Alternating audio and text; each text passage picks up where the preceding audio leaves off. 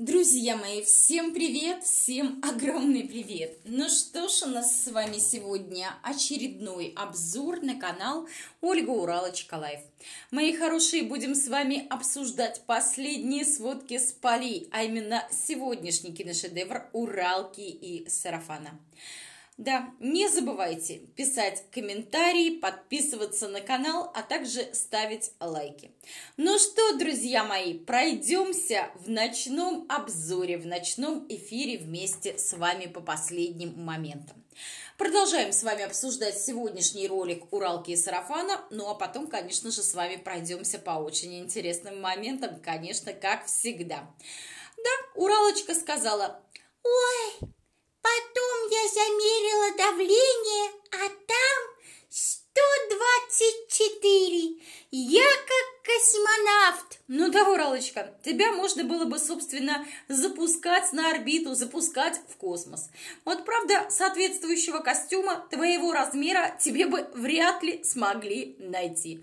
Ну да, говорят же 120 на 80, это, да, можно в космос лететь. Вы знаете, мне очень понравилось, как Уралочка сделала акцент. Помимо того, что на столе стоял букет цветов, так, про букет – про внешний вид букета, внешний вид паркета, внешний вид Уралки я рассказывала в предыдущих обзорах. Сейчас об этом говорить даже близко не буду. Кто не смотрел, зайдите, посмотрите. Так вот, друзья мои, а, на столе, помимо букета, стояла бутылочка с регидроном. Вы знаете, мне так стало смешно, Уралка говорит, «Ой, я выпила регидрон, у меня внутри все клокотало, все дрожало. Ну да, ребята, регидрон был выставлен специально, чтобы его было хорошо видно и так далее. Ну, я прекрасно понимаю, для чего и с какой целью это было сделано. Уралочка, я понимаю, что такое регидрон. Регидрон как раз-таки действительно принимают люди при отравлении, когда отравились когда плохо себя чувствуют, когда у них идет какой-то какой вот этот момент очищения организма и так далее, люди принимают регидрон.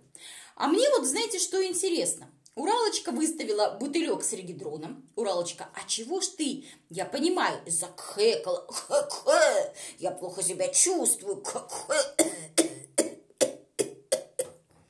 Уралочка, а чего ж ты для полноты картины не выставила красный таз с блевотиной? Ты же сказала, стоял таз на готове, мало ли что, и я там в этот таз... Ребят, я просто представила эту картину. Ну, что-то, вы знаете, таз нам никто так и не показал.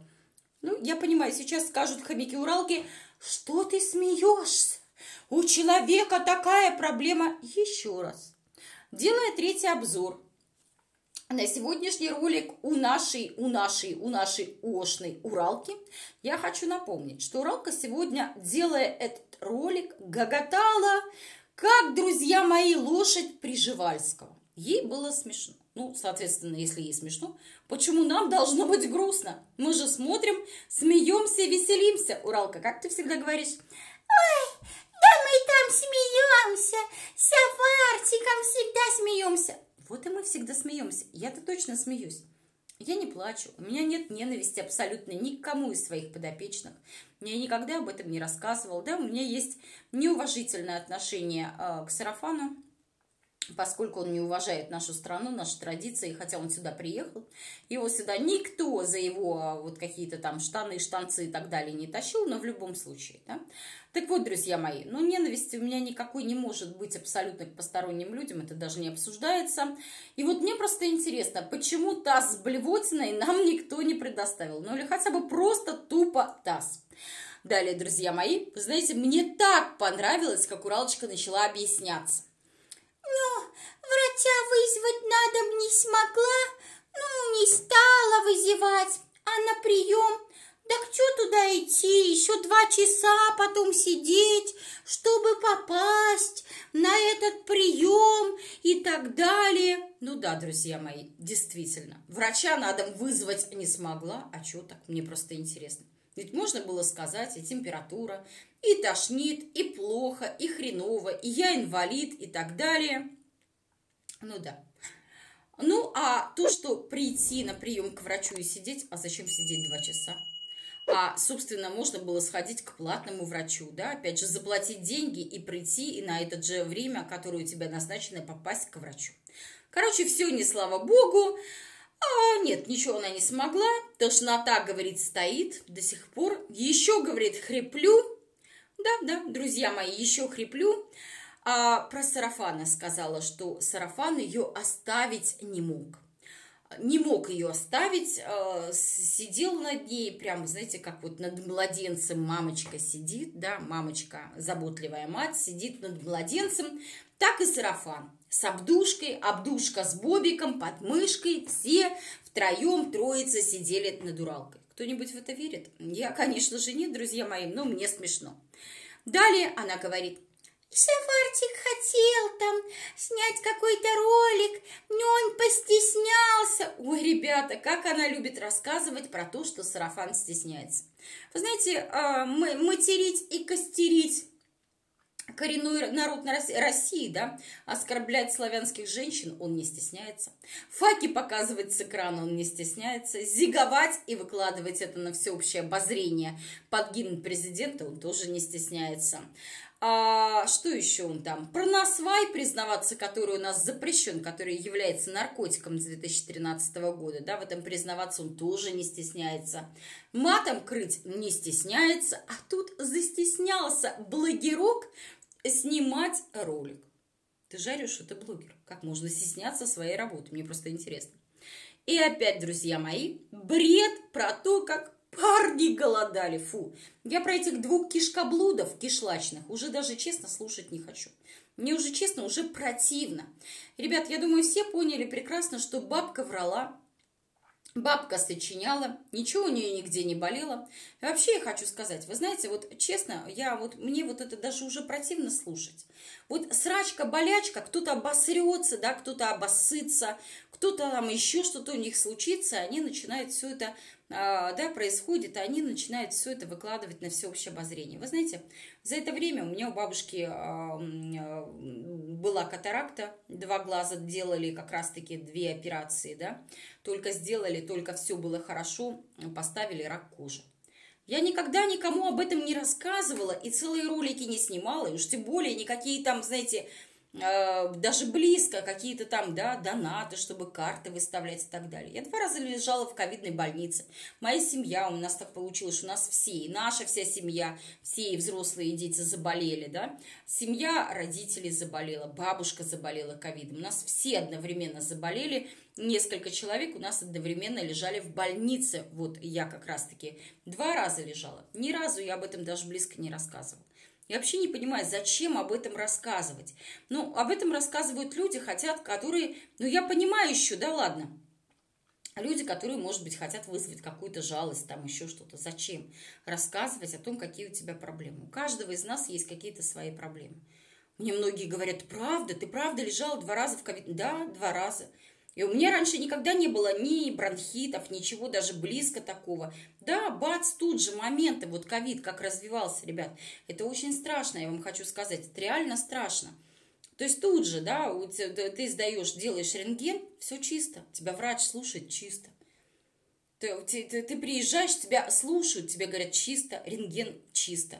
Через два дня, у тебя уже через три дня показывает рентген двустороннее воспаление легких. Правда, было страшно. Особенно в ковидное время. Было очень страшно. Никогда не рассказывала, никогда не муссировала эту тему. Только так вот между какими-то теми людьми, а, с кем я общалась и кому я доверяла. Все. А здесь обосралась, обосралась, а, обоссалась, да, пережрала, перепила, а, блевала, и она об этом рассказывает. Такое позорище. Вот лично для меня, вы меня извините, это реально позорище. Сколько раз я за это время там болела, не болела, я даже рассказывать об этом не буду. Кто у нас там болел, там дети болеют, да, часто очень. Взрослые болеют, да, там еще какие-то моменты свои личные. Не знаю, я такого, я, я вот ни разу не помню, чтобы такое кто-то что-то выносил. Ну вот Уралка хочется ей это все вынести, сарафан туда-сюда. Опять они жрать, жрать хотят, опять эти кишлачные голодные, жрать хотят и так далее. Она, ой, ой, он мне говорит, наверное, ты схуднула. Она, ну, на 10-то килограммов я не схуднула. Боже мой, какие 10 килограмм, ребят? Боже мой, какие 10 килограмм? Мне просто интересно. Далее Уралка опять несет чушь. Не слушайте никого, слушайте первоисточник, да, о чем я вам и говорила. Ну, будет где-то, говорит, выходить каждый день видео, а то и где-то даже по два видоса. Ребят, я, как всегда, оказалась права. Я сегодня только с утра до того, как она выложила свой ролик, рассказала в первом своем обзоре о том, что они сейчас будут наверстывать упущенное. Они сейчас будут выкладывать даже не по одному, а по два видоса там, где можно. Слушайте первоисточник. Уралка, а что тебя слушать? Ты вруха, коих поискать. Ты такая врунгильда, что просто мама не горюй. В общем, друзья мои, наша Сирануш, да, обосралась по полной программе и все это дело вывалила на просторы Ютуба. Для пущей убедительности покхэкала там, поставила бутылек из-под регидрона. Ну, Уралочка, ты знаешь, у каждого, в принципе, в аптечке есть этот регидрон в пакетиках без проблем абсолютно, да. Ну, как-то это все со стороны смотрится некрасиво. Рассказала, что еще таз поставила и так далее. В общем, ребята, ну, рассказывала все это с улыбочкой на лице. К чему бы это? Да-да, к тому, что все было хорошо и прекрасно. Ладно, переходим с вами к комментариям. Кто-то написал, с таким смаком рассказывает, с чувством, с толком, с расстановкой о чем я вам и сказала, ребят, в первом своем обзоре на, на ее сегодняшний ролик, я ей сказала, не верю. Человек, который действительно уже попрощался с жизнью, которому было настолько плохо, что он уже все, последние силы терял, никогда не будет, да, который уже прощался, там где-то молился, писал завещание – никогда не будет с таким смехом, с таким, с таким, знаете, с, с такими смешками, да, смехуёчками рассказывать об этом на просторах Ютуба, где бы то ни было, и даже где-то там своим каким-то друзьям, знакомым. Далее кто-то написал, лечите печень, меньше жареного и жирного. Но она же говорила, жрала, жру и буду жрать. Это ее девиз по жизни – кто-то написал, вы же блогеры, нужно было снять на видео, как вы меряете давление, зафиксировать и показать фельдшеру. Да не обязательно. Можно было вообще снимать какие-то моменты, да, не обязательно приезд скорой помощи, надо было вообще что-то снять, да. Опять же, приезд скорой помощи, почему он тебя не снимался? Вот всякий раз я говорю, почему она не снимает приход полиции, Приход еще кого-то, приход опеки, потому что этого не было. Ребят, если бы у нее действительно кто-то приходил, она бы снимала. Я вот уже миллион раз приводила в пример поберуху. Иногда она говорила, что к ней кто-то приходил, и она снимала это дело. Колеса тоже не раз, не единожды снимали. Это все было видно. Уралка только болтает и только говорит, и ни разу, никогда, нигде, даже близко ничего не снимал. Значит, этого не было. Значит, этого не было. Нам с вами доказывать ничего не надо. Я а, веду обзорный канал. Я делаю обзор по увиденному и услышанному. Я Уралке не верю от слова совсем. Многие зрители ей тоже не верят по той простой причине, потому что она много врет, палится на вранье и так далее. Никто же не говорит, что снимайте лица врачей, врача, фельдшера, медсестры и так далее. Нет. Можно было снимать, как они пришли, их приход, чтобы было слышно и так далее, да? Ничего даже близко не было. А почему не было? А потому что ничего не было. Никто никуда не приходил, никто никуда не приезжал. Далее. Кто-то написал. Уля, почему на дом не вызываете участкового врача? Занимаетесь самолечением. Ну, значит, ничего не болит. Вот и все. А можно было бы вызвать. А если даже участкового не вызвать, можно было вызвать платно, как мы вызываем, да, допустим, платно врача. Платно сейчас люди вызывают и сделать анализы, там, допустим, если сложно кому-то, кто-то по состоянию здоровья или в силу своего возрастного ценза не может приехать, допустим, куда-то, сдать анализы, для него это сложность и так далее, можно вызвать все это дело на дом, конечно, заплатить за это денежки – ну, по крайней мере, с комфортом можно все это сделать, без проблем и так далее. Далее, друзья мои, Кто-то написал, здоровье вам, ну такую сказку рассказали, скорая не помогла, а в телеграме прям сидят доктора. Не болейте, займитесь собой. Ну да, о чем я и говорила, друзья мои. Видроголовые тупицы из телеграм-канала «Уралки» ей помогли. Представляете? Врачи не помогли, медицина оказалась бессильна для нашей Уралки-инвалидки. А вот в телеграм-канале ее полтора землекопа, вот эти вот фифочки, да, ведроголовые с ведром на башке, ей помогли. Ну, а сами Уралка с сарафаном, знаете, загуглить что-то не смогли. Кто-то написал «шашлычок», «картоха горелая», вот и печень затрещала по швам у Ольги.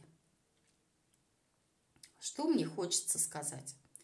Ну, если бы это было, было все, из-за чего может затрещать у нее печень, то это далеко не весь перечень да, вот этих вот продуктов питания и так далее. То, что Уралка жрет постоянно, то, что не приколочено, это вот действительно, это очень и очень плохо. Кто-то написал, от зеленого чая, наоборот, падает давление. Я это точно знаю. Какая-то неумная особа вам могла посоветовать такое многоточие. Ну, это явно написала какая-то хомячка Уралки. А мне хочется у нее спросить, а ты уверена, что ей кто-то такое советовал? Ты уверена, что к ней приезжал врач или фельдшер, который ей мог такое посоветовать? Ты это слышала? А если вы, хомяки, это не слышите и не знаете, и верите только Уралке на слово, значит, это сплетни чистой воды. Скорее всего, это были какие-то познания самой Уралки, ребят. Или познания ее хомячих с телеграм-канала, которые ей, да, хомячки, вот эти ее хомячки, да, которые ей посоветовали выпить зеленого чику. А может быть, это ей сарафан посоветовал. Мы же с вами не знаем. Я еще раз хочу сделать акцент. Люди, для которых это проблема, низкое или высокое давление, знают прекрасно, что им можно, а что им нельзя. Вообще, когда у человека есть какие бы то ни было хронические заболевания, запомните раз и навсегда. Человек абсолютно все знает про свою болячку, про свое заболевание и как и что нужно лечить, и какие должны быть а, способы лечения и так далее. Если человек это не знает, значит у него данной проблемы просто не существует. Все очень просто. Все очень просто, друзья мои. Тут даже, знаете, никуда ходить не надо. Вот абсолютно никуда. Далее. Далее, друзья мои, уралки пишут. Всего причина вес. Я знаю, что пишу минус 40 килограмм и давление в норме, и активность, и спина. Букет был, это отговорки. Простите меня. Ну да, Уралке стоит просить прощения. А иначе она всех запольет, загадит и так далее. Конечно, надо срочно просить прощения. А на самом деле там 40 кг и не пахнет. Там надо скидывать кг 100 для того, чтобы она могла жить более-менее нормальной, да, ну или 80 полноценной жизнью. Когда ты уже весишь 220-230 кг, как весит Уралка, то там уже, знаете, 40 кг, как говорится, роли никакой не сыграют. Но в любом случае надо следить за собой, надо беречь себя. И надо понимать, что здоровье – это одно, да, и его потом ни за какие шиши ты не купишь нигде никак, абсолютно точно. А вообще, ребята, вот давайте серьезно. Вот между, между нами, как говорится. Вот вы знаете, что у вашего человека, в вашей семье, да, у вашего близкого человека, у вашего члена семьи есть какая-то болячка. Ну, допустим, неважно, пусть будет он гипотоник или гипертоник, да, вы, э, сталкиваясь с его проблемой, когда у него либо падает, либо поднимается давление, я не то что уверена на 100, я на 300% уверена, что вы будете уже знать, что нужно делать в той или иной ситуации. Какие таблетки нужно дать гипотонику, какие таблетки нужно дать гипертонику. Чем можно помочь гипотонику или гипертонику? Это будет знать абсолютно любой член семьи. И только в семье Уралки никто ничего не знает, что делать, то ли зеленый чай пить, то ли кофе. То ли потом они очнулись, да-да, надо сладкий, черный, крепкий чай, правда? Ну, то, что Галинка-маленька говорит уже Уралке полтора года – Только сейчас до них дочухнулось, только сейчас они очухались, да? Так вот, это говорит о том, если сарафан ни черта не знает, что нужно и как нужно помочь Уралке, если бы у нее действительно была такая проблема, значит, они не живут вместе. Это раз, либо так, либо у нее нет никаких проблем, либо и то, и другое все вместе. Вот как-то так. Друзья мои, вот такой у меня получился обзор. Пишите, что вы думаете по этому поводу, по поводу выхода нашего Олега. Я сегодня уже несколько раз высказалась, и сейчас хочу в заключение сказать, что я уверена, что они знали, что им нужно как-то свалить с Ютуба, и это было им просто жизненно необходимо. Они знали, что им нужно время, куда-то, может быть, съездить, куда-то пропасть на какое-то время, да, что-то сделать и так далее. По этой причине они придумали болезни Уралки, которой на самом деле даже близко не было. И все это они снимали в тот самый день, ну или на следующий день после дня рождения Уралки. Как раз-таки она была при параде, цветы были еще абсолютно свежие. Поэтому все это было сделано специально и намеренно. Они куда-то уезжали, они что-то делали, они не могли на тот момент выйти. Это было, конечно же, не связано с ее болезнью, потому что если бы она вышла в ее возрасте после болезни, с ее инвалидностью, с ее проблемами, она бы выглядела абсолютно по-другому. Она была бы бледная, чуть живая, никакая, ей было бы очень плохо, и она бы точно не сидела бы и не гоготала, как лошадь при Живальском. Ребят, вот такой обзор. Пишите, что вы думаете по этому поводу. Оставляйте свои комментарии. Всех целую, обнимаю. Жду вас на ютубе. После ночного обзора, после общения в чате, приходите на ютуб и будем с вами там общаться. Всех целую, обнимаю. Всем пока-пока.